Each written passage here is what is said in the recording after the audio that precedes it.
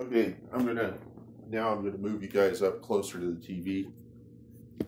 So sorry to move my hand in your face there, but uh, so you can see kind of what the interface looks like to this program. And uh, so you can see that it's working there. Looks like it's properly synced. Yeah. And it should be properly mixing the audio. Um, I'll have to, what I'll have to do is I'll have to do a test run to see, uh, maybe I'll just stop it now and I'll look at the video that it produced. So I'm going to go into the folder and uh, look at the video that was produced. This was it, I think.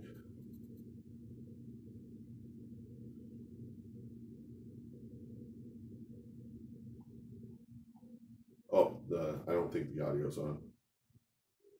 Let me, let me get the this thing. To turn the volume up. Either that or the for some reason the audio's not coming out.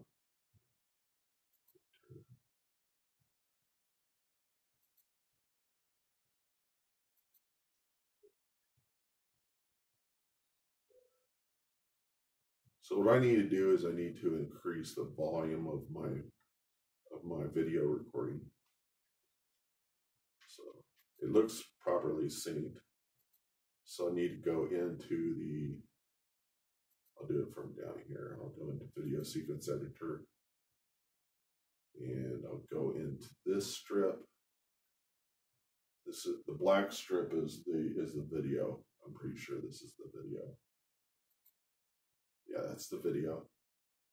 So I'll go in there and I select the this strip and I have to go in a second time and it is the it's this green strip that's the that's the volume so then I go up to volume and I I blow it for three and then try the audio. Near. I think that will do it. Let me see. And then I'll go ahead and save it a second time. And you can also keyframe the volume if you want. Any of these buttons up here can be keyframed.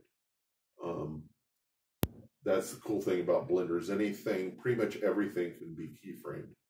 Um, so, which is different from a lot of other programs. And the reason why it, Blender is so popular among users not only because it's free, but it has a different viewpoint, a, a different idea of how to do things, and that is is to make everything possible. Make and and the the blend files contain everything in it in one blend file. And if you send the blend file to a friend and they load it up in their program, they're going to see everything that you saw. And so um, it makes collaboration a lot easier. So, and it's been doing that from day one, and that's what makes it really tough to compete against. So, where just Jeff Bezos is on one end of the spectrum, he's innovating and he's pushing down the big boys on that end. Uh, Ton Roosendaal's doing the opposite. He's not he's not a commercial entity. He's a he's a non-profit entity who's doing the same thing with freeware. He's busting up all the competition um, through innovation.